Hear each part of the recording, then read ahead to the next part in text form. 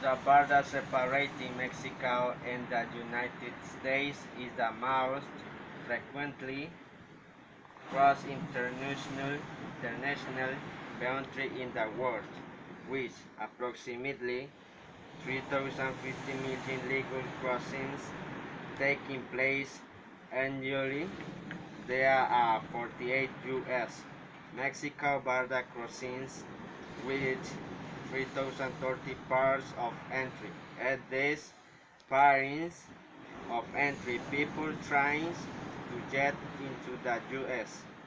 are required to open their bags for inspection.